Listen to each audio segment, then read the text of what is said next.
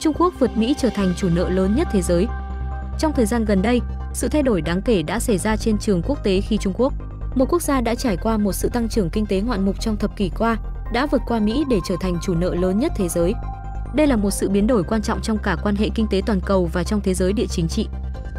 Tờ Nikkei Asia đưa tin, một nghiên cứu mới của tổ chức nghiên cứu iData, Mỹ cho thấy Trung Quốc đang là chủ nợ của 1.100 tỷ đô la Mỹ nợ thông qua dự án sáng kiến vành đai và con đường.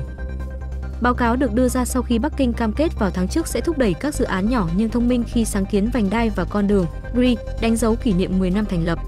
Trong 10 năm đầu tiên của sáng kiến này, Trung Quốc phân bổ các khoản vay khổng lồ dùng cho việc xây cầu, cảng và đường cao tốc ở các nước có thu nhập thấp và trung bình. Hơn 150 quốc gia, trải dài từ Uruguay, Nam Mỹ đến Sri Lanka, Nam Á đã tham gia sáng kiến vành đai và con đường GRI, trong suốt những năm qua. Theo đó, khoảng 55% số nợ tồn động của các quốc gia đang phát triển đã bước vào giai đoạn trả nợ gốc và con số này có thể tăng lên 75% vào năm 2030. Bắc Kinh đang đảm nhận một vai trò không mấy thoải mái, là chủ nợ chính thức lớn nhất thế giới, báo cáo của iData cho hay. Tổng số dư nợ, bao gồm gốc nhưng không bao gồm lãi, từ những nước đi vay ở mức ít nhất 1.100 tỷ đô la Mỹ. Đồng thời, nghiên cứu cũng chỉ ra rằng khoảng 80% khoản cho vay liên quan đến các quốc gia đang gặp khó khăn về tài chính. Dựa trên dữ liệu tổng hợp về nguồn tài trợ của Trung Quốc cho gần 21.000 dự án trên 165 quốc gia, tổ chức iData cho biết Bắc Kinh cam kết khoản tín dụng khoảng 80 tỷ đô la Mỹ mỗi năm cho các nước có thu nhập thấp và trung bình. Để so sánh, Mỹ cũng có khoản tương tự, trị giá 60 tỷ đô la Mỹ. Bởi vậy, Bắc Kinh đang tìm cách giảm thiểu rủi ro cho BRI bằng cách điều chỉnh hoạt động cho vay để phù hợp hơn với các tiêu chuẩn quốc tế, bao gồm biện pháp tự bảo vệ mình trước nguy cơ không được trả nợ. Khả năng tiếp cận tài sản thế chấp bằng tiền mặt mà không cần sự đồng ý của người vay đã trở thành một biện pháp bảo vệ đặc biệt quan trọng trong danh mục cho vay song phương của Trung Quốc, iData cho hay. Báo cáo của iData cho biết, khi những người đi vay mất thanh khoản hoặc mất khả năng thanh toán không thể trả nợ, các ngân hàng chính sách Trung Quốc đang tự trả nợ gốc và lãi quá hạn bằng cách đơn phương rút ngoại tệ ra khỏi tài khoản ký quỹ của người đi vay. Bên cạnh đó, các biện pháp phòng ngừa khác được Bắc Kinh áp dụng bao gồm tăng tài sản thế chấp bằng tiền mặt để bảo vệ các khoản cho vay song phương.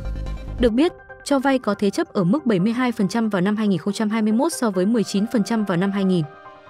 Đối mặt với một loạt thách thức khó khăn, iData cho biết Bắc Kinh hiện đang học hỏi từ những sai lầm và trở thành nhà quản lý khủng hoảng quốc tế ngày càng lão luyện. Trung Quốc đang làm việc nhiều hơn với các tổ chức cho vay đa phương và các ngân hàng thương mại phương Tây. Một nửa số khoản cho vay không khẩn cấp vào năm 2021 là các khoản cho vay hợp vốn 80% trong số đó cùng với các ngân hàng phương Tây và các tổ chức tài chính quốc tế. Chính phủ Trung Quốc cũng đã giao việc quản lý rủi ro cho các tổ chức nước ngoài với các tiêu chuẩn thẩm định chặt chẽ hơn thay vì dựa vào các ngân hàng của chính họ. Tập đoàn Tài chính Quốc tế IFC, Ngân hàng Tái thiết và Phát triển châu Âu EBRD, Ngân hàng Standard Chartered và BNP Paribas hiện nằm trong số các tổ chức tham gia kiểm tra hoạt động vay mượn và đề xuất các giao dịch. Trung Quốc chưa tiết lộ tổng số nợ của các bên tham gia BRI, bên cạnh các quốc gia được hưởng lợi từ các dự án cơ sở hạ tầng. Một số quốc gia như ở Maldives và Sri Lanka lại rơi vào cảnh nợ nần phiền muộn. Trung Quốc cũng đã bác bỏ cáo buộc rằng BRI đã tạo ra bẫy nợ, thay vào đó ca ngợi BRI là động lực cho sự phát triển toàn cầu. Tại diễn đàn kỷ niệm 10 năm sáng kiến vành đai và con đường vào tháng 10 vừa qua, Chủ tịch Trung Quốc Tập Cận Bình thông báo sẽ bơm hơn 100 tỷ đô la Mỹ vốn mới vào vành đai và con đường BRI, sáng kiến đầy tham vọng của Trung Quốc.